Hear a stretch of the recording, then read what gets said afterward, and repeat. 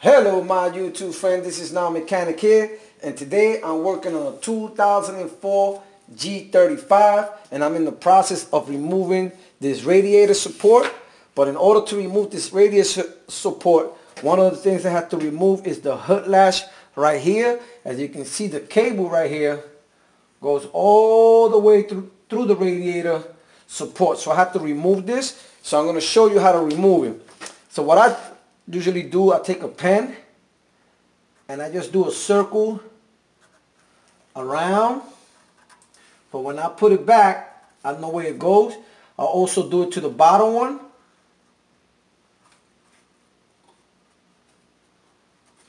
And you do the other one on the other side.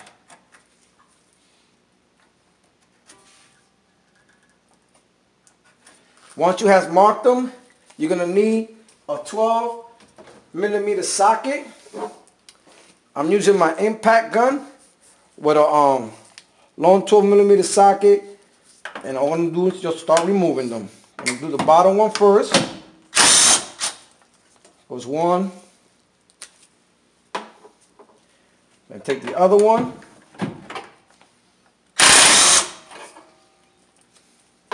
They're all the same size, so you don't have to worry where they go at. Then you have the last one there.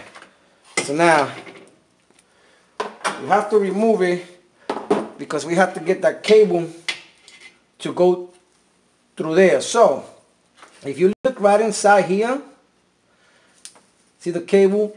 If you look in there, you know what we're going to do first? Let's remove this. All you have to do is just push it towards you. Right there. Has a little gap and all you do is just pull it towards you and then there's a little hole in the bottom. Right in the bottom of it. And all you have to do is just take it and put it right through the bottom. So it goes right there. So you pull it, there goes to the bottom, and you have removed it. And then this cable just going to go to the radiator support. So just in case you want to put it right back, you turn it the same way you have it, this way. You take this little cable right here and it's going to go right in through the hole that's in there. There's a hole right in there. And all you're going to do is just going to take this, put it through the hole. Let you see it.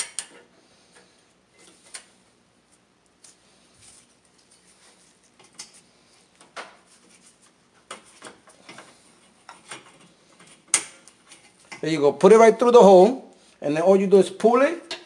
And once you pull it, all you're going to do is just going to take this right here.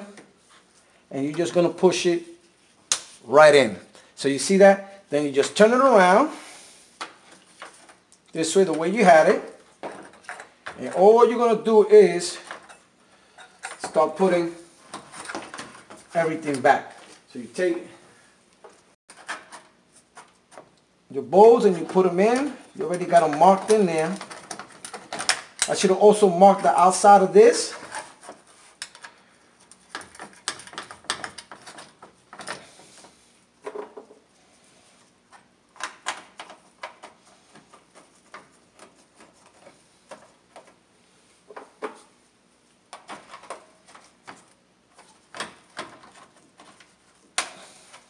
When I do, you put them by hand first.